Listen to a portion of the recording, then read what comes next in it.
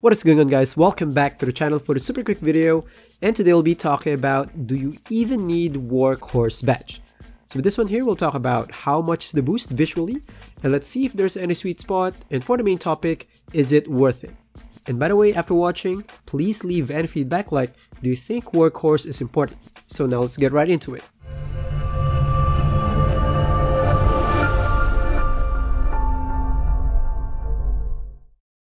I know at this point that almost everyone knows how this badge works, but for those who don't know, Workhorse will increase your ability to get loose balls.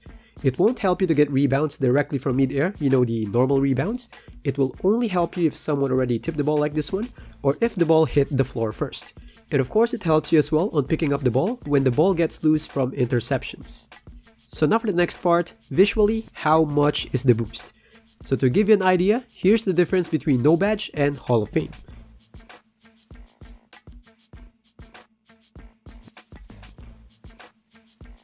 And to see if there's any sweet spot, I made a test.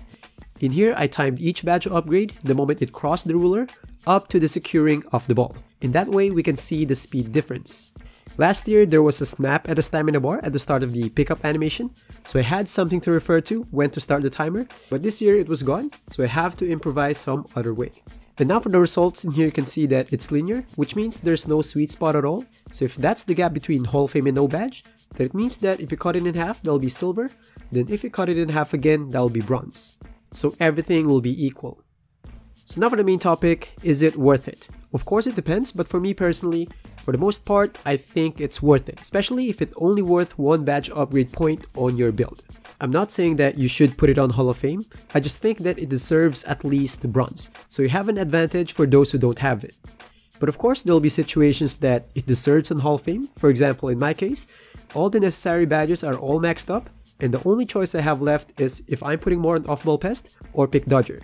But for me, I would pick the badge that will give me possession, so for me, I think workhorse is the most important.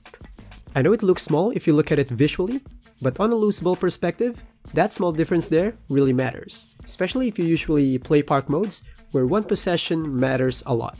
You can even see on the clips, I think the main reason why I secured those, even though it looks like position-wise they're on the advantage, I think it's because of the badge. So now for the summary, the stat on this badge is linear, which means you can push it to Hall of Fame if you really want to, because there's no saturation point. And here's the visual difference between no badge and Hall of Fame. And for me personally, this badge is really worth it. You can give it at least bronze. And of course, you can push it to Hall of Fame if you really want to.